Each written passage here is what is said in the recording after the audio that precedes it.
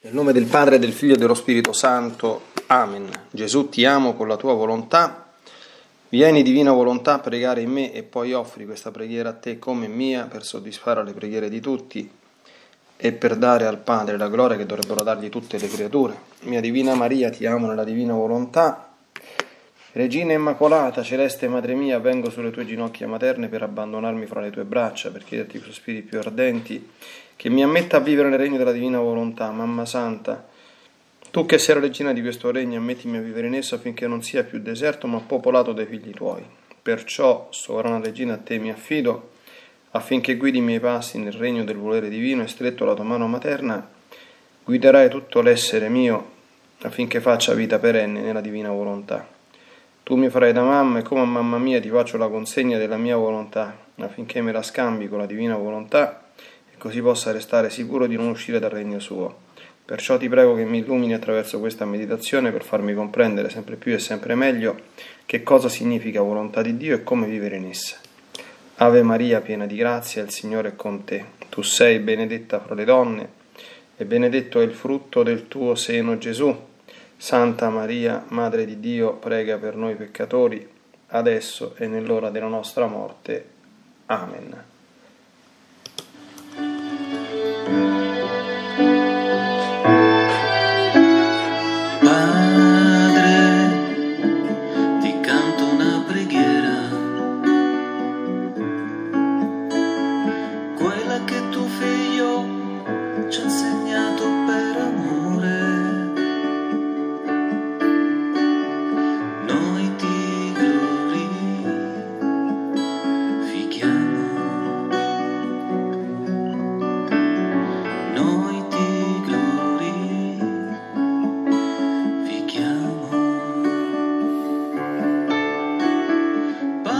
mostro que sei.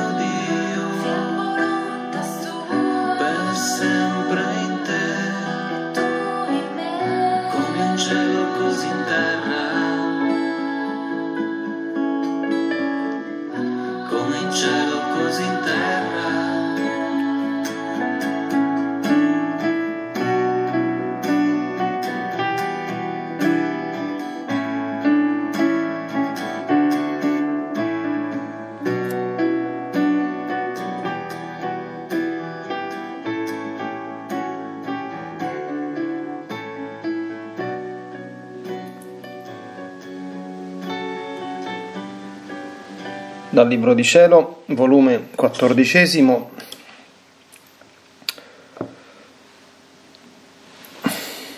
...21 marzo 1922. Continuando il mio solito stato, stavo ripensando al santo volere divino ed il mio sempre adorabile Gesù mi ha stretta fra le sue braccia e sospirando forte mi sentivo scendere il suo alito fin nel cuore. E poi mi ha detto,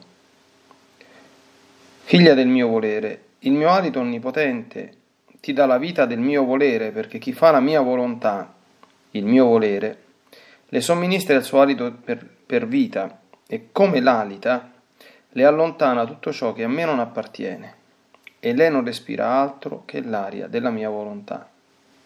E siccome aria si riceve e si emette, così per l'anima è un continuo ricevere me e un darsi in ogni respiro a me. Su tutto il creato aleggia la mia volontà e non c'è cosa che il mio volere non ne tiene il suggello. Come pronunziai il fiat nel creare le cose, così il mio volere ne prese il dominio e si fece vita e conservazione di tutte le cose. Ora questo mio volere vuole che tutte le cose siano rinchiuse in Lui, per ricevere il contraccambio dei suoi stessi atti nobili e divini. Vuole vedere aleggiare su tutti gli atti umani l'aria, il vento, il profumo, la luce del suo volere, in modo che aleggiando insieme gli atti suoi con quelli delle creature, si confondano insieme e si formino una sola cosa. Fu solo questo lo scopo della creazione, che le emanazioni dei voleri fossero continue. Lo voglio, lo pretendo, lo aspetto. Perciò ho tanta premura che si conosca il mio volere, il suo valore e i suoi effetti, per fare che le anime che vivono nel mio volere, con le loro emanazioni, continuino nella mia volontà, come faranno i loro atti, come aria li diffonderanno su tutto, si moltiplicheranno in tutti gli atti umani, investendo e coprendo tutto, come atti della mia volontà. Ed allora avrò lo scopo della creazione, la mia volontà si riposerà in loro e formerà la nuova generazione, tutte le cose create avranno il doppio suggello del mio volere. Il fiat della creazione è l'eco del mio fiat nelle creature. 24 marzo 1922 Continuando il mio solito stato, il mio sempre amabile Gesù nel venire mi ha detto, figlia mia, come l'anima emette i suoi atti nel mio volere, così moltiplica la mia vita. Sicché se fa dieci atti nella mia volontà, dieci volte mi moltiplica. Se ne fa venti, cento, mille più ancora, tante volte più resto moltiplicato.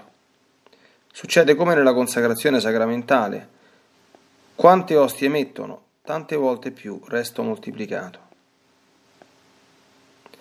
La differenza che c'è è che nella consacrazione del sacramentale ho bisogno delle ostie per moltiplicarmi e del sacerdote che mi consacri. Nella mia volontà per restare moltiplicato ho bisogno degli atti della creatura, ove più che ostia viva, non morta, come, quella, come quelle ostie prima di consacrarmi, la mia volontà mi consacra e mi chiude nell'atto della creatura ed io resto moltiplicato ad ogni loro atto fatto nella mia volontà. Perciò il mio amore tiene il suo sfogo completo con le anime che fanno la mia volontà e vivono nel mio volere. Sono loro sempre quelle che suppliscono non solo a tutti gli atti che mi dovrebbero le creature, ma alla stessa mia vita sacramentale.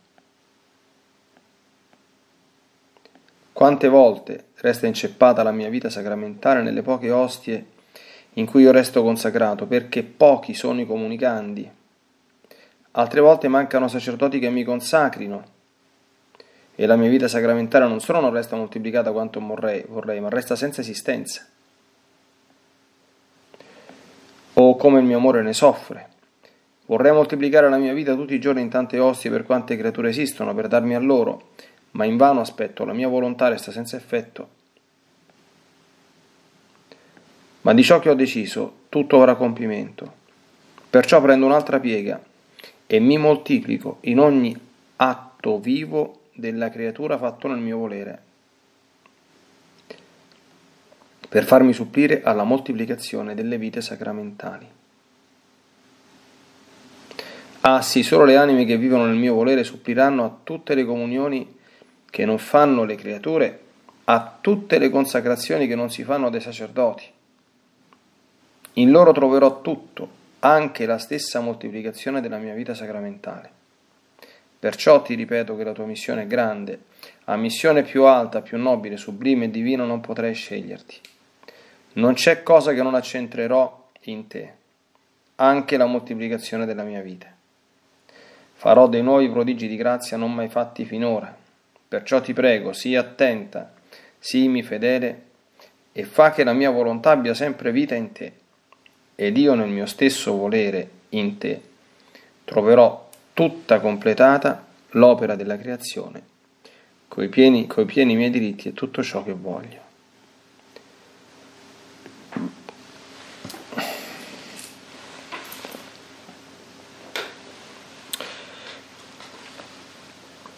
Bene, questi scritti, specialmente il secondo, avremo già notato, contengono delle delucidazioni, delle spiegazioni date da, da Gesù, soprattutto per comprendere l'importanza degli atti compiuti nella divina volontà e, e anche delle analogie molto, molto belle, insomma, con quello che eh, sappiamo tutti quanti che avviene, anche se magari non sempre ci facciamo attenzione, no? E la meditazione è proprio un momento in cui cose che magari abbiamo sempre sotto gli occhi, eh, diventano però guardate con attenzione, ecco, contemplare proprio etimologicamente significa proprio fissare lo sguardo con attenzione verso un certo oggetto per, per conoscerlo meglio, per comprenderlo meglio, per farlo nostro. Allora, il primo brano, tra l'altro è opportunamente intitolato nella versione corrente Il doppio suggello del Fiat in tutte le cose create, spiega fondamentalmente una cosa fondamentale, cioè Dio attraverso il Fiat ha creato tutte le cose. Questo è noto, almeno per noi credenti, insomma, no? Eh, dai racconti del libro della, della Genesi. La Sacra Scrittura attribuisce la creazione dell'universo tutto, evidentemente con il linguaggio proprio del, del tempo, no? Quindi non c'è scritto che Dio ha creato le galassie nella Bibbia, perché, ma c'è scritto che, so, che, ha creato le acque che sono sopra i cieli, insomma, ecco, per, però ecco, il senso e il significato è evidente. Dalla creazione eh, dipende, ovviamente discende il fatto che in ogni ente creato, in ogni ente creato, eh, quindi dall'elettrone, facciamo proprio così, fino a, alle più grandi distanze spaziali, è presente un atto di divina volontà, quindi è un'opera di Dio e come dice il libro della Sapienza, dal, dalle cose fatte si riconosce chi le ha fatte, no? Artefice si riconosce dalle creature. Questo non è niente di nuovo per ora. Neanche niente di nuovo quello che Gesù prosegue spiegando, si fece vita e conservazione di tutte le cose, ne abbiamo parlato tante volte, cioè, mm, la teologia cattolica, eh, seguendo in questo gli insegnamenti approfonditi di San Tommaso d'Aquino, ha sempre affermato che eh, non è che Dio crea una cosa, dopodiché la lascia lì e se ne sta per conto suo e quella sussiste, vive e si muove a prescindere da Dio. Perché Dio non è soltanto il principio dell'essere, quindi come causa, creazione, ma anche il principio della conservazione dell'essere in ogni suo istante nel tempo. Ecco perché Gesù in alcune parti degli scritti dice la mia volontà si trova anche nel più grande dei peccatori, perché certo quello non la fa la mia volontà, ma quel peccatore respira, dorme, mangia, beve, parla, addirittura ha la possibilità di peccare perché io lo sto conservando nell'essere, altrimenti svanirebbe nel nulla.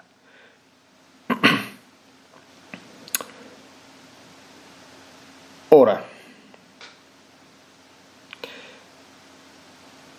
questa divina volontà, che è il principio dell'essere, della conservazione dell'essere di tutte le cose, ci spiega Gesù, vuole però, vuole però ricevere il contraccambio dei suoi stessi atti nobili e divini.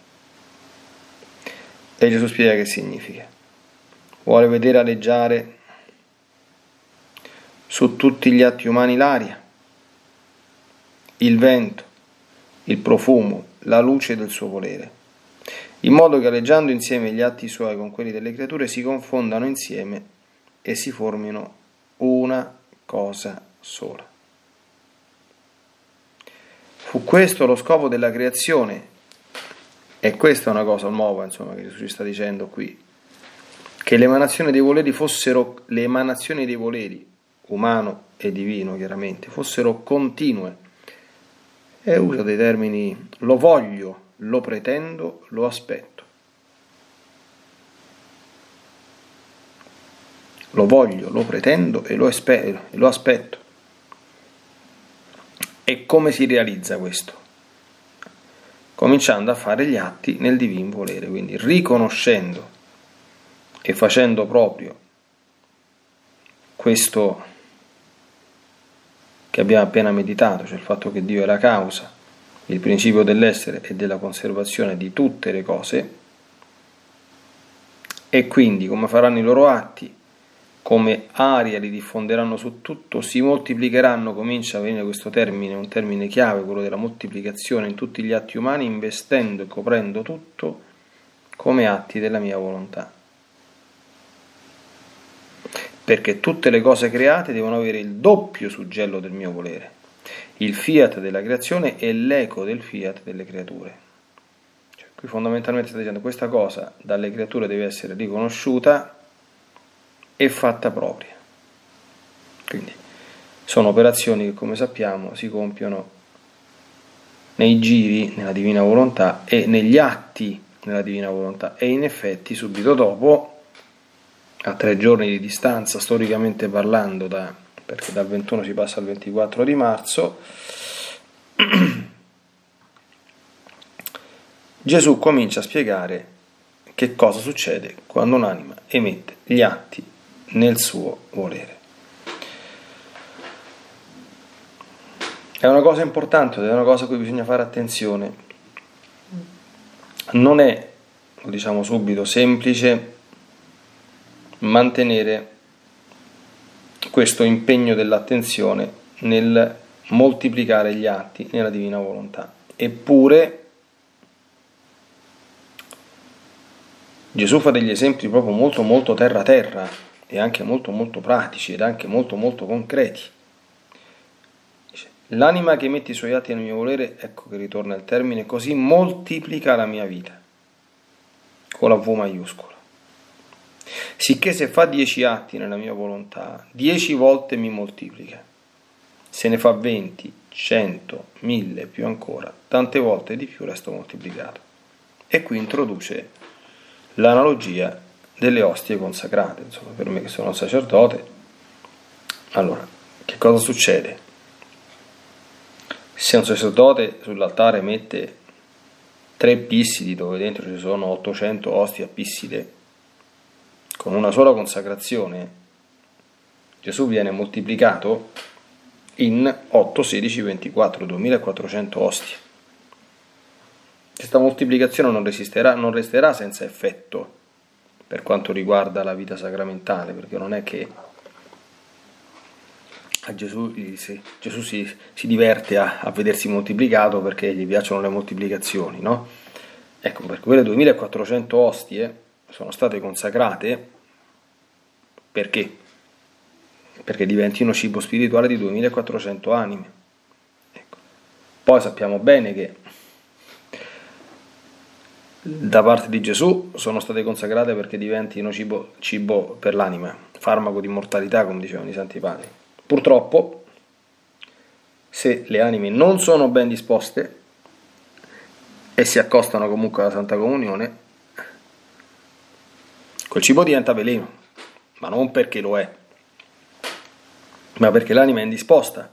E così, se l'anima non è disposta, quindi non sta per esempio in grazia e sa di non esserlo, non essendo capace di ricevere la vita contenuta nell'ostia, non deve comunicarsi, ma deve anteporre la confessione sacramentale. In ogni caso, questa cosa, che è comunque doverosa, non fa piacere a Gesù, perché se dipendesse da Gesù lui vorrebbe che si, comunicassero tutti, ma che si comunicassero tutti bene cioè che nessuna di quelle ostie diventasse, come purtroppo non di rado accade, veleno anziché farmaco dell'immortalità. Ora dice, nella consacrazione sacramentale sono necessarie due cose. Primo, le ostie ci devono stare. Un sacerdote che andasse a celebrare la messa si accorge che in sacrestia non c'è più manco un'ostia, che celebra. Quindi, oppure ci vuole comunque un sacerdote, quindi una persona che abbia un sacramento, l'ordine sacro, che compia gli atti necessari contenuti nella Santa Messa perché queste ostie si moltiplichino. Attenzione, questo è. Mi sto dilungando perché è importante che fissiamo bene queste cose e le ricordiamo. Allora, invece, Quindi le ostie si moltiplicano, la presenza sacramentale di Gesù si moltiplica attraverso il numero di questa materia, unita alla consacrazione del sacerdote. Oh.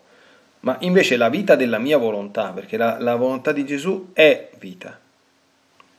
Allora, più la moltiplichi, e che cosa succede? Succede che più bene farà e più creatura raggiungerà da un punto di vista oggettivo. Poi è chiaro che da un punto di vista soggettivo la vita che la divina volontà è e ha si comunicherà alle creature in proporzione alle loro disposizioni. Dice, ma molti sono mal disposti. Ho capito, molti sono pure mal disposti a ricevere l'Eucaristia, ma questo non è un buon motivo per non consacrare. Ecco, bisognerà certamente non accontentarsi di questo, ma anche poi spiegare le condizioni per fare una buona comunione, quindi formare le persone, ma comunque la messa e le ostie vanno moltiplicate e così gli atti nella divina volontà vanno moltiplicati. E non è la stessa cosa in una giornata farne uno, farne due, farne tre, farne dieci o farne cento. Qui ci supplisce anche mm, l'esperienza di Luisa, che sappiamo bene, non faceva altro dalla mattina alla sera e che perché lo potesse fare eh, senza che come per noi ci siano mille occupazioni, mille distrazioni, gli è stato tolto l'impiccio, diciamo così.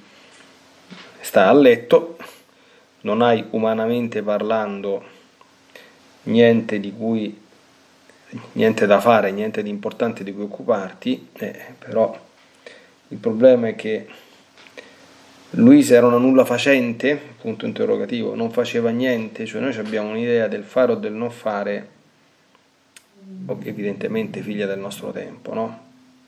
Cioè, quando è che ci sentiamo utili o quando è che ci sentiamo inutili?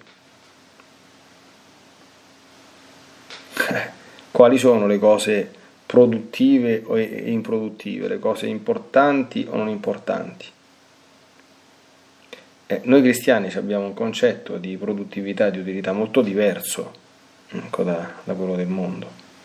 Adesso vogliono fare l'eutanasia in giro dappertutto, perché per l'essere umano non c'è nessun senso la, la sofferenza. Dice, che motivo c'è che una persona debba soffrire sofferenze atroci senza possibilità di, di riprendersi? Questi non conoscono Cristo crocifisso, è chiaro, no? Ma per noi figli di Dio un malato non è un essere inutile, né un peso, il malato è colui che sta nel corso della storia portando con Gesù crocifisso il peso dei peccati del mondo e la sua dolorosa passione. Per cui il fatto stesso che soffra con rassegnazione sta facendo un bene alla Chiesa al mondo che neanche il Papa, con tutto rispetto per, per il Papa o, eh, o i più grandi evangelizzatori di questo mondo, possono fare per carità, il ministero del Papa e dei grandi evangelizzatori di questo mondo evidentemente è necessario, ma se non ci fosse chi prega e chi soffre, quindi accompagnando l'azione apostolica della Chiesa con la sua linfa vitale, che c'era insegnata Gesù, quale 30 anni di vita nascosta e 33 anni di sofferenze, e solo 3 anni di vita pubblica. Quindi questo per dire, era improduttiva la vita di Luisa. Ha detto, dice, sì, mi fedele che la mia volontà abbia vita sempre in te, la tua missione grande, la missione più alta, più nobile, sublime e divina, non potrei sceglierti. Cioè Gesù sta dicendo non c'è nessun essere umano tutto, il pianeta Terra, eccettuati chiaramente qualche rara eccezione, per esempio la mia Santa Madre, che abbia fatto qualcosa di più importante di te. Ci picchia. Più importante Luisa di San Francesco? Eh, bella domanda, insomma, no? Eh, ma San Francesco ha predicato in giro in un sacco di posti, San Francesco ha fatto questo, ha fondato un ordine, eh, tutte tante le cose che uno ha fatto eh, e che in qualche modo appaiono. Noi siamo colpiti dalle cose che appaiono all'esterno. Ma le cose più grandi sono quelle che non si vede proprio niente. La consacrazione dell'ostia, bene, adesso la messa è celebrata ad alta voce, no? ma non è necessario, tant'è vero che per 1500 anni la consacrazione veniva recitata in segreto, sottovoce, non è che le ostie non c'erano, capito? Quindi, e il fatto che venga recitata ad alta voce, sì, è qualcosa che consentono maggiore partecipazione, se vogliamo, coinvolgimento, ma aiuta entro certi limiti perché non è che sentire le parole della, della consacrazione, come dire, ti rende un po' più convinto che lì c'è presente Gesù, d'accordo? È semplicemente un fatto sensibile comunque non si ha nessuna percezione della presenza di Gesù nell'Eucaristia e invece c'è. Ecco. Oh. Ora, negli atti della divina volontà Gesù dice, è più facile, perché gli atti della divina volontà non vuole l'ordine sacro, li può compiere chiunque. Chiunque. Non ci vogliono le ostie, non ci vuole niente, ci vuole che la tua volontà faccia un atto. Ed è la mia volontà, dice Gesù, che mi consacra e mi chiude nell'atto della creatura ed io resto moltiplicato ad ogni loro atto fatto nella mia volontà. Ecco perché tante volte, questo, chiaramente questo mh, mm, è una scelta, mh, mm, io penso che sia veramente una scelta di campo, d'accordo? Cioè nella convinzione che le operazioni più importanti e più efficaci non sono quelle esterne, che per carità, ripetiamo, sono comunque necessarie perché la Chiesa non va avanti atti della divina volontà, d'accordo? Ci vuole chi predica, ci vuole chi consacra, ci vuole chi fa le opere di carità, per carità, ci vuole chi governa, fa anche delle cose insomma molto noiose insomma per mandare avanti tutta quanta l'istituzione di origine divina ma anche umana che è la Chiesa, per carità. Ma qual è la cosa più importante? Qual è la cosa che deve coinvolgermi maggiormente? Quale sarà una giornata utile e proficua? Che io la sera posso andare a dormire e dice, ah, vabbè, oggi qualcosa di buono l'abbiamo combinato. In base alle opere esterne che ho fatto, so quante opere di carità, quante cose utili ho fatto per la Chiesa, per il mondo, eccetera, eccetera. Per carità, queste sono cose importanti, ma sono le più importanti se ho fatto un'opera di carità contro voglia, d'accordo? Io sono stato tutto quanto, cioè ho fatto svogliatamente tutti quanti i miei doveri, non è una grande giornata, anche se più o meno quello che più o meno dovrei fare l'avevo fatto, no?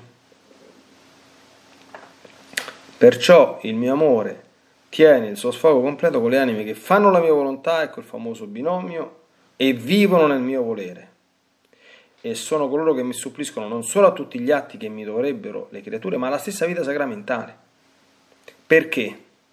Perché la vita sacramentale, dice Gesù tante volte, resta inceppata. Non c'è chi si fa la comunione.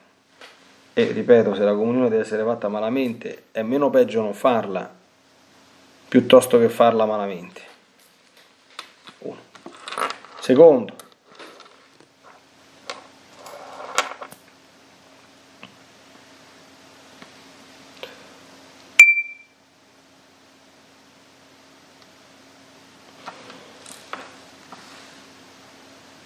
Oltre che non fare la comunione c'è un altro problema, che potrebbero mancare i sacerdoti che la consacrano l'ostia. E quindi la vita sacramentale è in cesta proprio, quindi non solo resta senza, come dire, effetti, perché non c'è chi si fa la comunione, ma in cesta proprio. E invece Gesù dice, vorrei moltiplicare la mia vita tutti i giorni in tante ostie per quante creature esistono, ma in vano aspetto e la mia volontà resta senza effetto. Capito? E allora, siccome questa può restare senza effetto per tante complicazioni che ci possono stare, io mi moltiplico in ogni atto vivo fatto della, fatto dalla creatura, nel mio volere. E questa moltiplicazione non è altro che moltiplicazione e diffusione di vita con la V maiuscola, a disposizione di tutti. Le anime addirittura che vivono nel mio volere, dice Gesù, suppliranno a tutte le comunioni che non fanno le creature, le comunioni non fatte e le consacrazioni che non si fanno dai sacerdoti. In loro troverò tutto, anche la stessa moltiplicazione della mia vita sacramentale. E conclude dicendo a Luisa, attenta, questa è la missione più grande che potrei darti e quindi cerca di svolgerla bene. Quindi, chiaro che i parametri che, di importanza che Gesù propone qui eh, sono ben diversi da quelli che noi siamo abituati a, a riconoscere come, come tali. E questo ci fa anche comprendere come nella vigna del Signore non c'è possibilità di essere inutili né di annoiarsi, perché un atto nella divina volontà può essere compiuto veramente da, da chiunque. Sono malato, uh, ho voglia fatti, se sei malato meglio, d'accordo? Come era mezza inferma Luisa, così non c'hai altre cose di cui occuparti e ti occupi solo di questo, per dire, no? Quindi, eh, facciamo le nostre queste cose, perché poi ogni giorno che passa, sì, oggi è un nuovo giorno, ma gli atti che non ho fatto ieri, eh, ieri in questa vita terrena non torna più, quindi il nastro, ci devo, devo recuperare gli atti non fatti, no, se, se possono recuperare. Possiamo farne di nuovi, ecco, però certamente più ne facciamo, come Gesù dice, 10, 20, 100, 1000, e meglio è. Più la sua vita resta moltiplicata, più la potenza, ecco, salvifica, divina e operante che ciò è l'unica cosa che salva il mondo. Il mondo non lo salvano le nostre chiacchiere, ma lo salvano il contatto che il mondo stabilisce con Dio. E eh, noi dobbiamo fare in modo che il contatto sia favorito in tutti i modi possibili. Certo che poi deve intervenire la libertà e la volontà della creatura. Ecco, però noi dobbiamo essere in questo senso cooperatori del creatore per moltiplicare per tutte le occasioni di ricevere, come Gesù diceva nel Vangelo, la vita. Io sono venuto perché abbiano la vita e l'abbiano in abbondanza.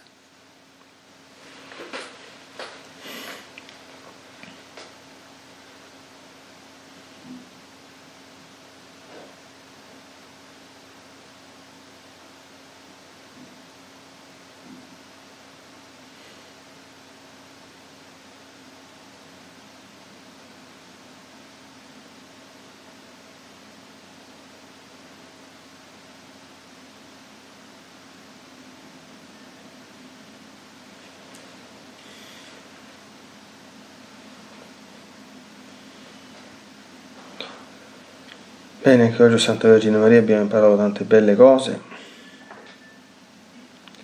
tra cui ecco il fatto che è assai importante non trascurare gli atti ma moltiplicarli quanto più possiamo. E i grandi effetti che questo produce, quanto questo è sommamente ecco, desiderato da Gesù e quindi sommamente conforme al divino volere. Ecco, mi piace prendere molto molto sul serio queste esortazioni di Gesù e ad essere solleciti e operosi nell'impegno, ecco, non ansiosi ma certamente solleciti e operosi sì, perché per quanto sta in noi possiamo contribuire a questa grande moltiplicazione di vita divina che il Signore vuole operare tra le sue creature. Nella divina volontà, nel nome del Padre, del Figlio e dello Spirito Santo. Amen. Ti benedico per aiutarti, ti benedico per difenderti, ti benedico per perdonarti, ti benedico per liberarti da ogni male, ti benedico per consolarti, ti benedico per farti santo, ti benedico dunque nella divina volontà, nel nome del Padre, del Figlio e dello Spirito Santo. Amen.